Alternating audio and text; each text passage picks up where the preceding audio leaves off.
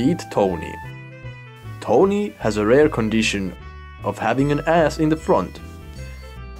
Though his condition sometimes makes his life harder, he's able to live a pretty normal life. He enjoys reading as a hobby. Welcome to my crib. This is my favorite chair. I love it.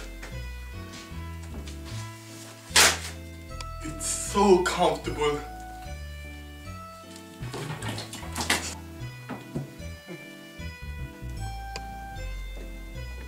Time to go boating.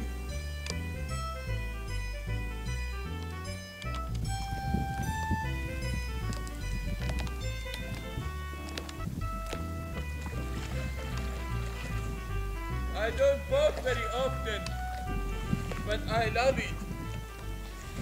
Really comfortable. Even if I have two asses, I don't care. My time passes nicely in my comfortable chair.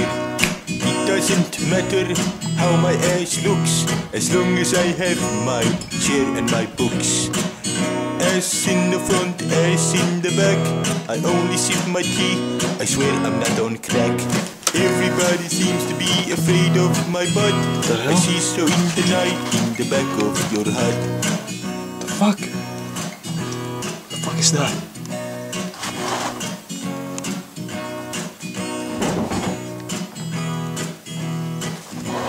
Call the police. Ass in the front,